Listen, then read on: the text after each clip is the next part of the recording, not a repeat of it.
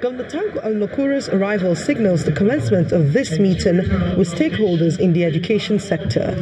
It is not a regular meeting as the governor makes a formal announcement of the engagement of 2,140 teachers, mostly graduates, into the state civil service, the first of its kind the sector has received in recent years. According to the governor, the move is to demonstrate his unflinching commitment in improving the standard of education in Nasarawa State.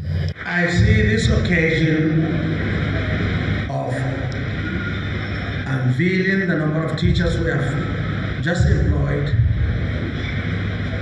as a day to showcase Nasarawa State's commitment not only to employment but to promoting the standard of education in the state.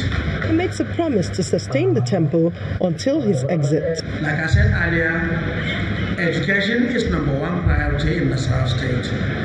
And until the last day I leave this office, we will continue to add value to the education sector.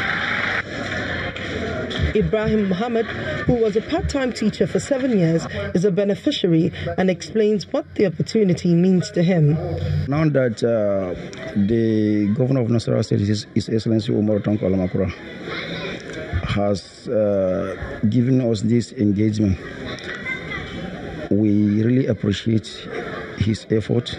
But with the presence of this uh, employment, I can manage to go back to my school and study my uh, and do my what, MSc. The massive engagement of over 2,000 teachers to man public schools in Nasarawa State is believed to be a means of addressing the issue of inadequate teachers in the state.